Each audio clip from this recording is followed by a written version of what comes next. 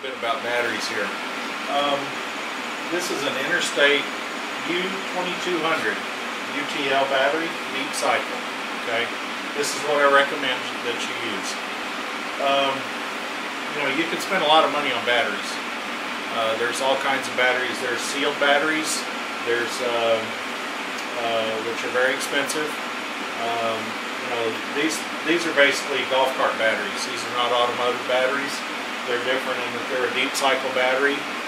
Uh, they're specifically made so that they can be depleted heavily and then charged back up, uh, whereas a regular automotive battery is not deep cycle and it's really just meant to be kept at a pretty high topped off level all the time. So these, these batteries are, are made for you know high depletion and then charging back up. A lot of lead in these batteries. Um, anyway, the reason that we recommend golf cart batteries is we don't sell batteries. Uh, if I were selling batteries and I wanted to just make money off people like a lot of the other wind solar people do, um, you know, then I might sell batteries and try to convince you to buy a $200 battery. Um, you know, this battery is 82 bucks. Um, uh, this battery is a commodity battery. Golf cart batteries are a dime a dozen. They're very common.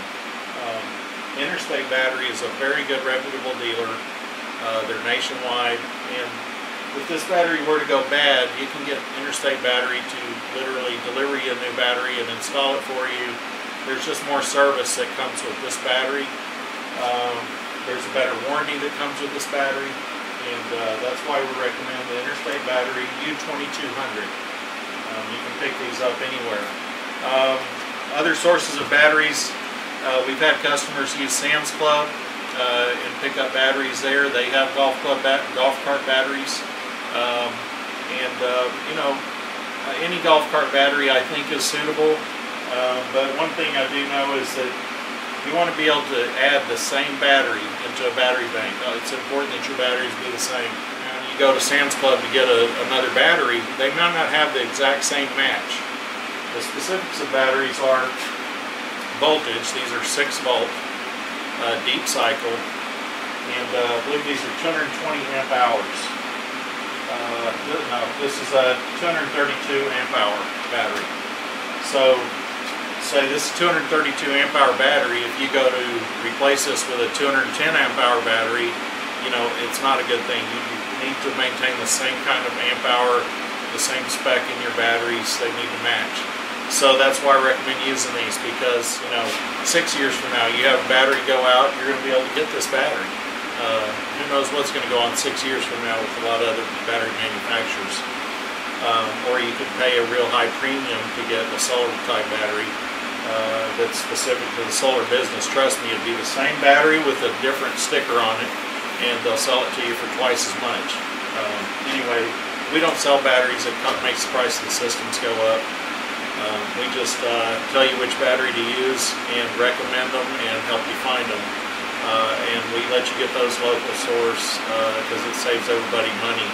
Uh, they're also so heavy to be shipped. It uh, doesn't make much sense to sell green systems and then create all that pollution hauling a battery across the United States when you have them right there in your local Um, you, you, can hear the wind blowing through the turbines, uh, and it sounds maybe like a dishwasher or something. Uh, there's all the yard, all the sounds in the yard are uh, are louder than the turbines, so you can still hear the birds. Um, you can hear the leaves rattling in the trees. You can hear a car drive by. You can hold a conversation. You can hear me talking. As you can see, the wind is coming from the broad side of the roof.